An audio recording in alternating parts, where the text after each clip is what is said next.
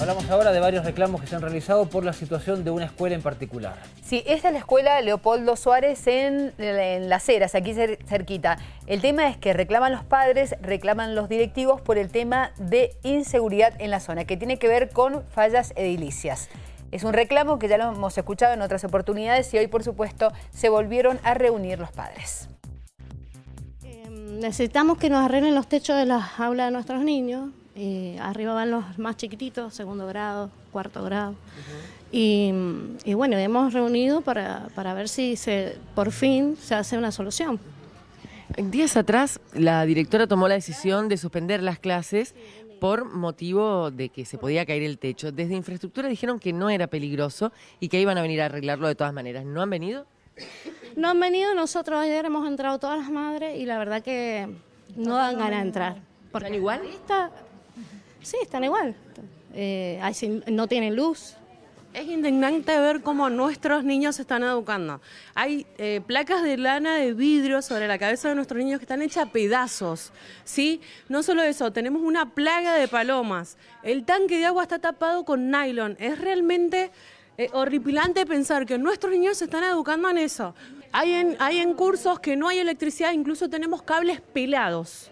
Así, literalmente. No hay electricidad, cables pelados. ¿Cómo hacen para tomar clases? ¿No hay luz en las aulas? No, pero del gobierno no se puede suspender las clases. Es ¿En las aulas hay luz? No, hay en aulas que sí, hay aulas que no. ¿Y dan clases igual en eso? Exactamente, se dan clases iguales. Por eso que estamos indignados y queremos una respuesta.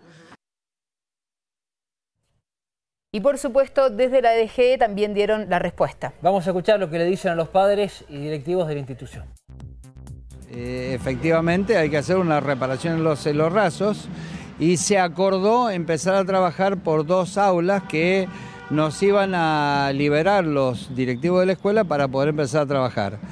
Se comenzaron con las tareas más urgentes eh, de remoción de las placas de cielo raso que estaban este, deterioradas y por caerse, que se removieron inmediatamente detrás del reclamo que tuvimos. Eh, y cuando fuimos con la empresa a trabajar, este, nos encontramos impedidos de, continuar con las tareas porque los directivos de la escuela este, necesitaban ocupar esos espacios y no pudimos acordar con ellos el tiempo eh, de la realización. Nos pidieron realizarlo los fines de semana, cosa que no lo hemos podido realizar hasta ahora. Y en el día de hoy se ha vuelto a acordar con los directivos de la escuela que nos liberen los espacios para poder continuar con los trabajos. Eh, los trabajos se han estado atendiendo, este, desgraciadamente por desinteligencias en el uso de los espacios no hemos podido terminarlo. Yo creería que mañana mismo estamos trabajando en la escuela. Eh, lo mismo, otra cosa que te quería aclarar también, ahí hay un problema con los tanques de agua que se le ha hecho una cobertura con un plástico porque los tenemos que reemplazar. Eso está previsto también el reemplazo de los tanques de agua. ¿Y con las palomas?